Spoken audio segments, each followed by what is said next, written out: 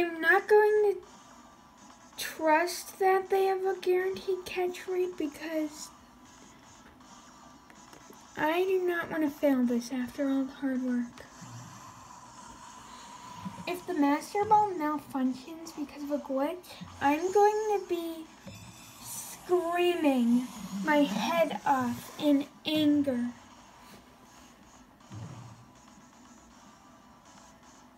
Why am I so, so terrified? I threw a Master Ball on it. Okay, there.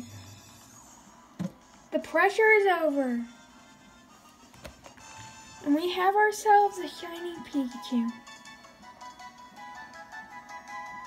It looks so similar to the.